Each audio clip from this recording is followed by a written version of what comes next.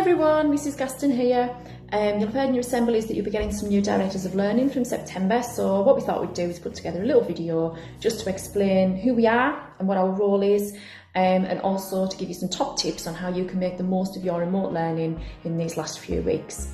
So my new role is Director of Learning for Year 7 and 8. I'm going to be working closely with Miss Skillen and the rest of the pastoral team, particularly your SPOs, Mrs Brown and Mrs Gallagher. Um, it's going to be our job to make sure that your behaviour and attendance is the best that it can be and also to keep track of your progress in lessons and working out where you might need some support so that you can do the best work possible and make the progress that you need to. My top tip for your remote learning is to make sure that when you hand your work in, the work that you are handing in is your own. It's really tempting to get somebody to help you because you want your work to be the best work possible, you want to have the, the, the correct grammar or you want to use some fancier words, and that's absolutely fine. But if the work you hand in is somebody else's work, then the feedback's not going to be of much use to you. Like when your teachers read your work and they give you some feedback, that's meant to be for you. So it's far better just to give it a go, even if it's wrong, give it a go, and then their feedback's going to be much more useful to you so that you can work on that and make it better. Keep working hard, keep doing the challenges, um, and try and keep up to date with your remote learning so that you are raring and ready to go when we come back in September. See you then.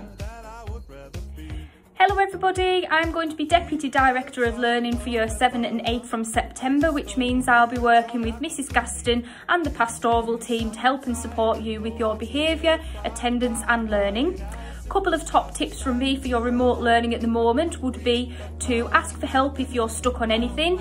On your Show My Homework tasks, there is a comment button where you can ask your teachers for help. You could also send them an email. If you do find you've fallen behind with your work for any reason whatsoever, my top tip would be to focus on the newest tasks that your teachers have set you for that week and hopefully you can catch up quickly.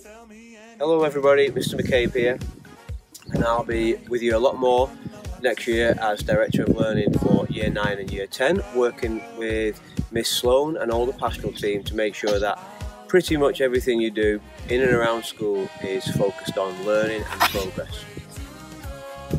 Uh, my top tip for the next few weeks is to keep building on the independence that you have had to develop over the last couple of months.